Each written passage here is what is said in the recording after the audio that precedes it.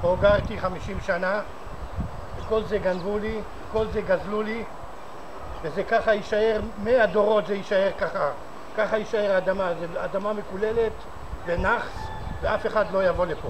פה בוצע פשע ופה בוצע גזל. נכון, אמת. ב-2015 פה בוצע אחד הפשעים הכי אכזריים שנעשו במדינת ישראל. הל, גיהנום. בעצי התמר האלה שתל אבא שלנו, הפרטיזן יוסף פרקש, זכר צדיק וקדוש לברכה. ואת עצי הזית האלה, אבא שלי ואחים שלי שתלו. ואת הסברס האלה, ואת הרימון, ואת האקליפטוסים.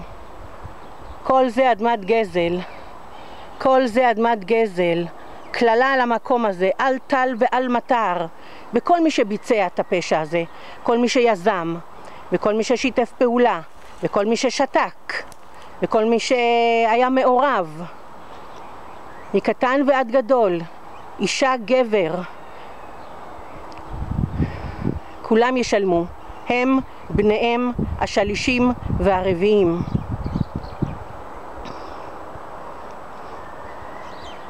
הנה השכן ניכס לעצמו את עצי התמר שאבא שלי שתל.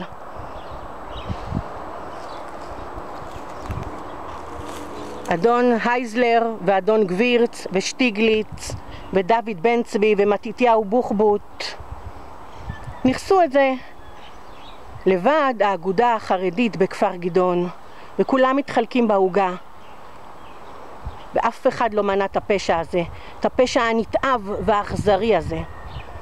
לא לעולם חוסן. לא לעולם חוסן. מידה כנגד מידה. אנחנו מבקשים מבורא עולם עכשיו, ערב ראש השנה, תשע"ט. מידה כנגד מידה.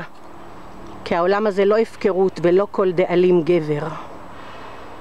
הצטערו מאוד הגוזלים, הגזלנים, השודדים, על הגזל שבוצע כאן לאור יום, בעורמה ובתרמית ובמרמה. אל נקמות אדוני, ואם אדוני אל נקמות, מי אני? מי אנחנו? שועתך קיווינו אדוני. אמן ואמן, אמן כן יהי רצון.